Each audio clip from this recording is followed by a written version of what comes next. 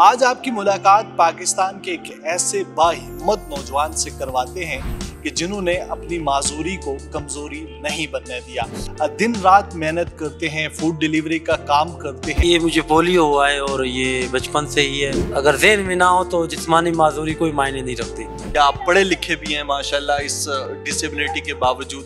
जी मैंने मास्टर किया Islamic study food point एक वाहिद काम था बाइक मेरे पास थी। तो कोई ऑप्शन और नहीं था। मुश्किल तो थी। जब तक वो खुद नहीं उठेंगे ना उनको कोई सहारा देने वाला, खुद से कोई नहीं कहेगा आए मैं आपका हाथ पकड़ कर आपको उठाता हूँ। अल्लाह ताला ने हमारी ज़िंदगी खूबसूरत बनाई ज़रूर है। लेकिन इसमें महक लाने के लिए वो खूबसूरत फूल आपको खुद ढूँढने पड़ेंगे।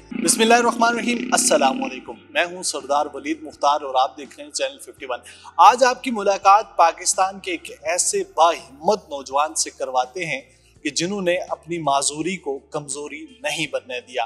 वो अज़म हिम्मत की एक ऐसी मिसाल बन गए हैं कि जो कि न सिर्फ़ उनके लिए, बल्कि पाकिस्तान में मौजूद तमाम जो स्पेशल पर्सनस हैं, उनके लिए एक मिसाल है।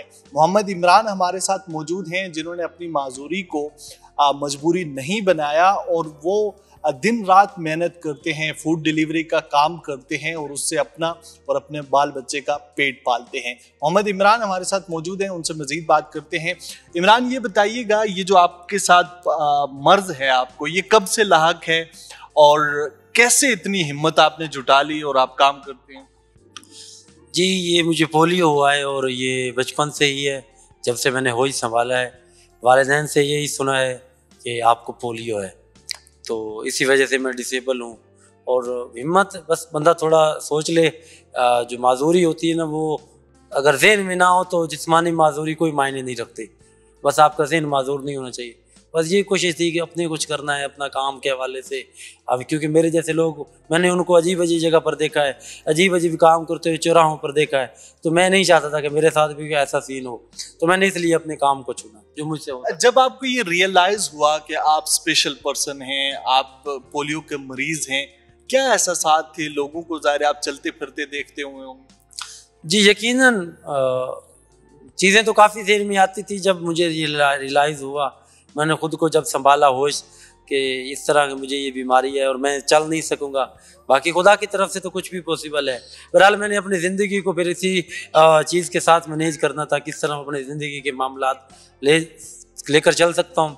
बहरहाल अपने, मैंने स्टडी को जो है ना वो ज्वाइन किया। स्टडी अलहमदिल्ला की। फिर जॉब वगैरह के लिए तलाश जारी रही। वहाँ कामयाबी ना मिली। तो फिर जो है ना मैं अपने काम की तरफ़ मूव ये बताइए कितने बहन भाई हैं आप और क्या और भी किसी के साथ ये मसला है या सिर्फ़ आपके साथ? नहीं नहीं ये सिर्फ़ मेरे साथ मसला है वो बाकी मेरे जो दो भाई और एक अमशीर हैं वो माशाल्लाह से तंदुरुस्त हैं हंड्रेड परसेंट और ये मामला सिर्फ़ मेरे साथ हुआ है।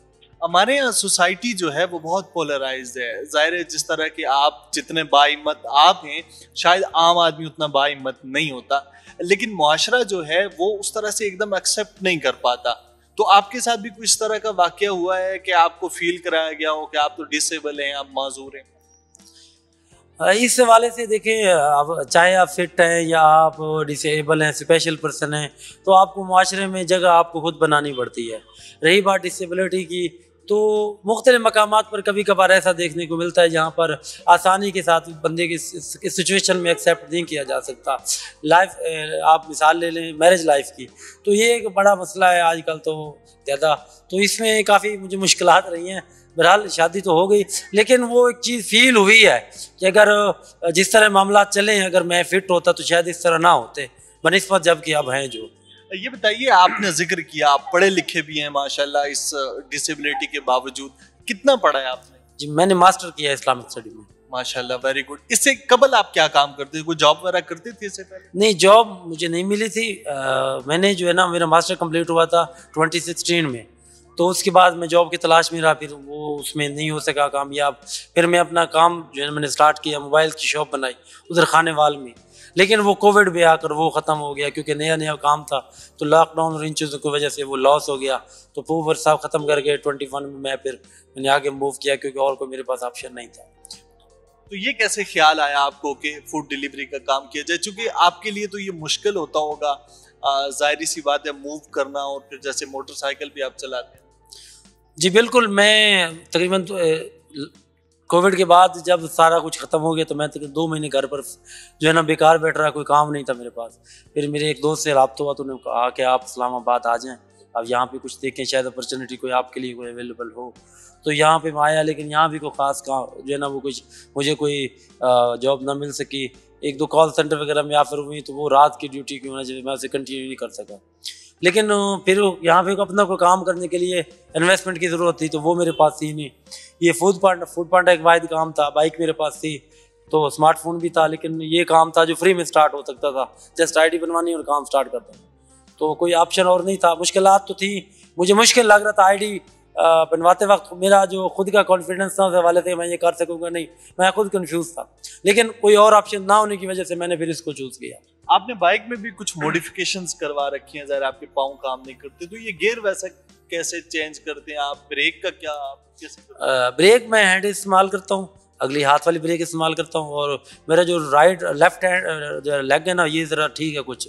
ये सीधा तो नहीं होता लेकिन कुछ काम करता है। इससे मैं जो है ना वो गेयर जो है ना वो लगा लेता हूँ और निकाल भी लेता हूँ इतना होता है तो ये बताइए कि इमरान भाई आप कितना इससे अर्न कर लेते हैं? ये जो काम आप अभी कर रहे हैं फ़ूड डिलीवरी का गुजर बसर हो जाता अल्हम्दुलिल्लाह महँगाई के दौर में इतनी चीज़ों को मैनेज करना, वो तो एक मुश्किल काम है, बहरहाल अल्लाह की ज़ात पर भरोसा है।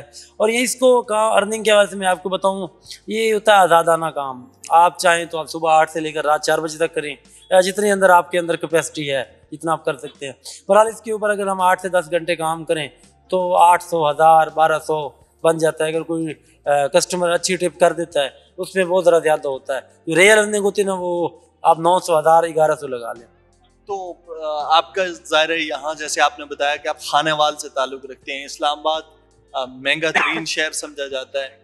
आपका घर है अपना या किराए के घर में रहते हैं? क्या मामला है? जी यहाँ पे मैंने जो मकान अपना लिया हुआ है वो जो एक कमरा लिया हुआ मैंने रावलपिंडी में और उसका पचासी सौ रेंट है। और बस ये क्या करें और कोई है नहीं हिसाब किताब अपना घर नहीं रेंट का। फैमिली आपके साथ रहती जी जी मेरी बीवी और मेरी बेटी है वो मेरे साथ यहाँ है। बाकी जो मेरे वालदेन हैं मेरे भाई बहन है वो अबाई गाँव में ही है। अच्छा।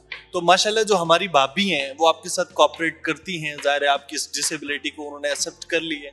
यकीनन वो कॉपरेटिव है she is nice very lady very nice lady actually उन्होंने इस साल में ये सबसे बड़ा जो कॉपरेटिव पॉइंट है वो तो ये कि उन्होंने मुझसे शादी की है। इससे बढ़कर तो और कॉपरेट नहीं हो सकता। बाकी जो घर में अमूर खानादारी हैं या बाकी वो चीज़ें होती हैं, वो काफ़ी सवाल से कॉपरेटिव मोमेंट है। ये बताइए कि ज़ाहिर पाकिस्तान में बहुत सारे ऐसे लोग हैं जो डिसेबल हैं स्पेशल पर्सन हैं। माशरा उनको उस तरह से ट्रीट नहीं करता। आप क्या पैगाम देना चाहेंगे अपनी उस पूरी कम्युनिटी को कि जो कि डिसेबल हैं स्पेशल पर्सन हैं? क्या करना चाहिए उन्हें और कौन कौन से ऐसे मौके आपकी नज़र में हैं? कि अगर वो करें तो वो इस माजूरी को मजबूरी बनने से रोक सकते इसमें मैं आपको ये बताऊँ कि अगर कोई इस तरह का कोई पर्सन है, हर बंदे की ये अपनी कंडीशन होती है सिचुएशन होती है, वो किस तरह का डिसेबल है। अल्लाह माफ़ करे, अल्लाह का किसी के साथ इस तरह का मामला ना फरमाए। बहरहाल अगर कोई अनफॉर्चुनेटली इस तरह का कोई मामला हो जाता है तो देखिए किसी से कुछ एक्सपेक्ट ना करें। जब तक वो खुद नहीं उठेंगे ना उनको कोई सहारा देने वाला, खुद से कोई नहीं कहेगा आए, मैं आपका हाथ पकड़ कर आपको उठाता हूँ।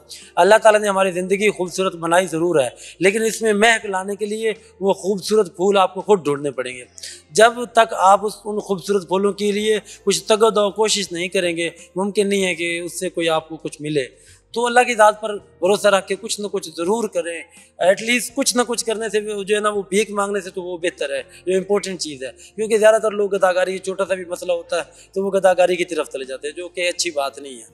आ, हम खुददार कौम है और इंसान वैसे माशा अलहमदिल्ला अल्लाह ताला ने इंसान को बनाया तो उसमें अगर अल्लाह पे अल्लाह पे अल्लाह की ज़ात पे यकीन रख के अगर आप चलेंगे तो यकीन अल्लाह ताला आपकी मदद ज़रूर फरमाएगा और आपकी हरकत में बरकत ज़रूर आएगी। फ्यूचर प्लान्स क्या हैं? इमरान भाई आपने यही काम करने हैं या इसके अलावा भी कोई काम सोचा हुआ है? और जो यहाँ से आपके पास वक्त बचता है फारग वक़ात में क्या कर? इसमें दो चीज़ें मेरे पास और ऐड हैं। उसमें एक तो मैं ई कामर्स का कोर्स वगैरह मैंने किया है दराज डॉट पी के पर मैं थोड़ा काम कर रहा हूँ। कुछ सर्विस भी दे रहा हूँ एज ए वर्चुअल असिस्टेंट और साथ एक यूट्यूब चैनल बनाया रिसेंटली तो अभी तो इसी फ़ूड पांडा पे हूँ थोड़ा सेविंग वगैरह कर रहा हूँ ता, ताकि वहाँ पे थोड़ा अच्छा अपना बिज़नेस स्टार्ट कर सकूँ। बाकी इंशाल्लाह व्लॉगिंग चैनल है अगर वो चल जाता है तो आ, मैं फिर ये फ़ूड पांडा छोड़ दूँगा और दरार डॉट पी के और व्लॉगिंग चैनल को लोग जो है ना वो टाइम दूँगा। और ये ऑडियंस से मैं यही गुजारिश करूँगा कि मैंने एक चैनल बनाया है यूट्यूब का इमरान पांडा वाला के नाम से। आप वहाँ जाकर हमें सपोर्ट कर सकते हैं हमें सब्सक्राइब कीजिएगा बंदा आपका शुक्रगुजार रहेगा। बहुत शुक्रिया। मोहम्मद इमरान की बातें आपने सुनी। अज़म हिम्मत की ये वो मिसाल हैं कि जो कि पाकिस्तान में बहुत कम पाई जाती है। अल्लाह ताला की तरफ़ से माजूरी और मुकम्मल, सेहतमंद जिसम ये दोनों अल्लाह ताला की तरफ़ से देन है। लेकिन इंसान का अपना वो किरदार है कि वो उसके साथ कैसे इंसाफ करता है। बाज़ बहुत सेहतमंद लोग जो हैं वो गदागरी के पेशे के साथ मुंसलिक हो जाते हैं। और पाकिस्तान में तो ये अब आम फ़ैशन बन चुका है। लेकिन मोहम्मद इमरान उन तमाम लोगों के लिए इंस्पिरेशन है कि जो किसी न किसी डिसेबिलिटी का शिकार हैं। अभी तक के लिए इतना ही। मजीद बाखबर रहने के लिए देखते रहिए फिफ्टी वन